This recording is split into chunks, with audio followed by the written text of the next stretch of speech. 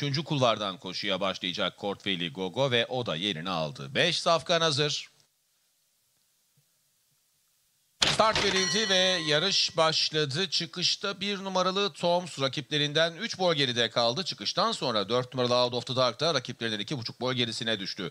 2 numaralı Stormblack öne geçip 2,5 boy fark yaptı. İkincilikte 5 numaralı Court Valley Gogo var. Ondan 1,5 boy geride 3 numaralı Baron Setrak. Baron Setrak'tan 1,5 boy geride iç kulvarda 1 numaralı Toms dışında 4 numaralı Out of the Dark sırasıyla Safkanlar 1200 metre start yerine ulaştı. Yarışın liderliğini Damla Atasoy'la koşuya katılan 2 numaralı Stormblack yapıyor. 1,5 boy geride Alice Bertio ile 5 numaralı Court Valley Gogo hemen dışında.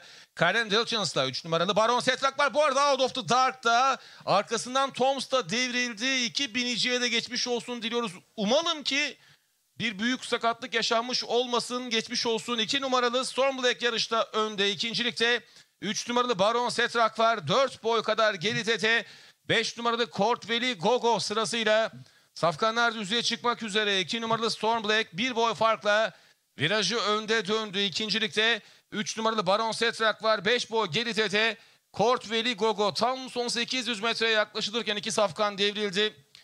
Geçmiş olsun diliyoruz. Stormblack ve önde Baron Setrak arasında mücadele var. Court Valley Gogo çok geride. İkisi Court Valley Gogo'nun 7-8 boy hatta 10 boy önünde birincilik için mücadele ediyor. İçeride 2 numaralı Stormblack.